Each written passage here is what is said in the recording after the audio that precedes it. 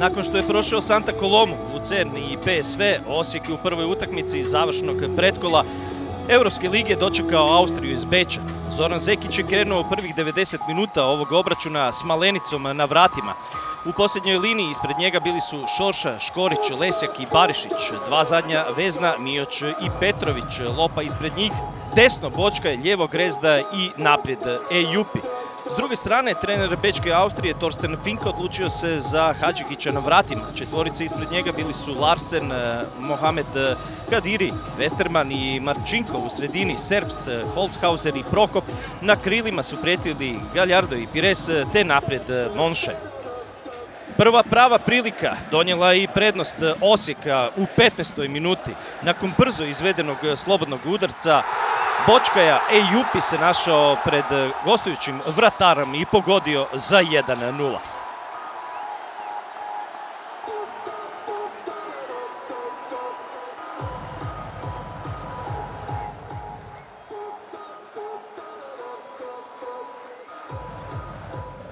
Odgovor na drugoj strani uslijedio je u 17. minuti. Serbst je iz daljine pucao i pogodio gredu. U 18. minuti sjajna lopta Lope za Šoršu koji završava u duelu s Kadirijem i sudac Ajtekin pokazuje na 11 metara. Izvođač kaznenog udarca bio je Borna Barišić. Nažalost, pogodio je vratnicu i ostalo je 1-0 za Osijek.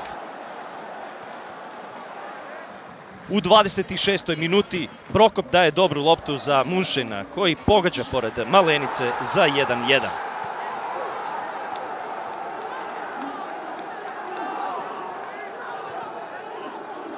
U 36. minuti Lopa pada u 16 metara, ali sudac pokazuje žuti karton zbog simuliranja.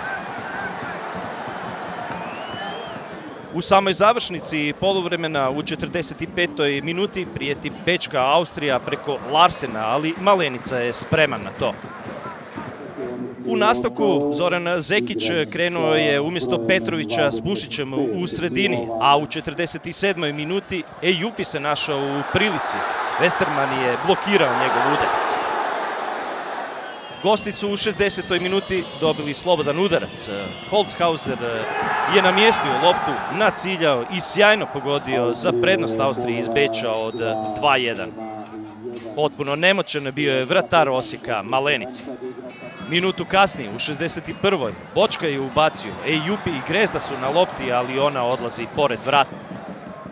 Odmah u 62. minuti na drugoj strani Pires je u sjajnoj prilici, ali Malenica brani je, a Galjardo onda puca pored gola iz 100% prilike.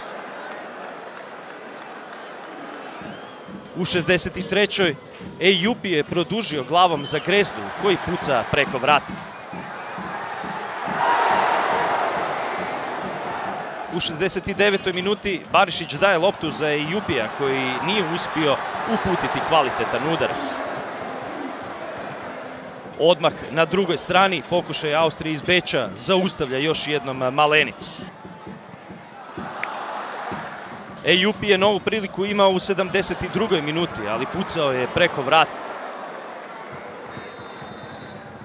Našao se i Jupi u prilici i u 79. minuti, no njegov je pokušaj prošao pored vratnice. I onda u sudačkoj nadoknadi Osijek je pokušao doći do izjednačujućeg pogotka, međutim Barišić je bio neuspješan. Osijek uoči uzvrata, Austrija iz Beča ima prednost od 2-1. Izgleda nije ova priča bez veze da se ta evropska škola skupo plaća. Dobro ste rekli, ulazak u utakmicu redan 1-0 penal, promašiš i poslije toga dobiješ iz prve, neću reći šanse, iz neke polu šanse dobiješ gol i bilo je jako teško. Poslije ovaj drugi gol smo dobili iz nekakvog faula i imali smo dosta šansi, jednostavno nije išla u gol. Mislim da je jednostavno danas predsudila malo i faktor sreće i vjerojatno iskustvo austrijske momčadi. Teška utakmica, malo se to provlačilo par dana prije da će to biti lagana utakmica, no mi smo znali da će biti ovakva teška, zahtjevna utakmica, možda i teža nego sa PSV-om. E, da, šteta, 1-0 penal, neiskorišten, da smo to zabili, uvjerenja sam da bi sigurno e, ošli tako na poluvrijeme, ako ne i sa većom gol razlikom, no njihova prva ozbiljna akcija, nažalost, pogoda koji nas je malo poljulio i drugi prekid i ode sve, sve na njihovu stranu.